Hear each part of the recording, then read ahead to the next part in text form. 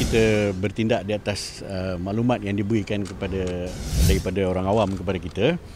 Uh, kita telah pun menjalankan uh, serbuan Opnoda di daerah kita ini iaitu di daerah Serdang. Dan uh, hasil daripada itu pada ini lagi 30 hari bulan 10 2020 lebih kurang jam uh, 10 malam tadi uh, satu pasukan yang diketuai oleh KBSJ di Serdang lah, iaitu DSP Muhammad Akmal Rizal uh, telah pun menghantar pasukan dia untuk mengintip di kawasan uh, bukit apa nama ni di Bandar Putri ini untuk melihat uh, bagaimana kesalahan-kesalahan yang berlaku uh, di bawah PKP PKPB ini. So hasil daripada itu uh, tiga permes telah pun uh, kita masuki pasukan yang telah diketuai oleh uh, Tuan Akmal tadi bersama lima orang pegawai dan uh, 15 orang anggota.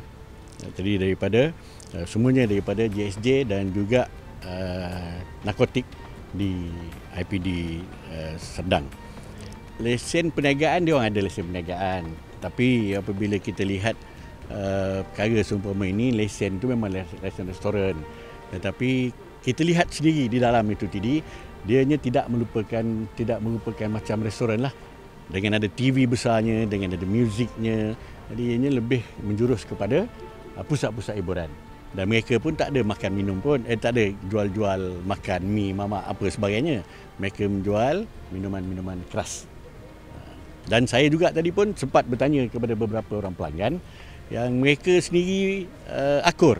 Dan mereka tidak uh, mempunyai rasa bersalah rasa argue lah dengan kita. Dia tidak bantah tindakan kita ini. Dan uh, beberapa pelanggan juga yang kita approach yang kita bagi tahu dia uh, you tahu kesalahan you? Tahu. You tahu tak tak boleh pergi ke tempat-tempat pusat hiburan seumpama ini? Tahu. Jadi memang kita kenakan compound boleh? Boleh. Uh, so mereka tahu. Jadi kita harap perkara sebegini tidaklah akan berulang lagi lah. Kita akan terus memantau Uh, daripada uh, masa ke semasa arahan-arahan penyakit-penyakit berjangkit ini. PKP.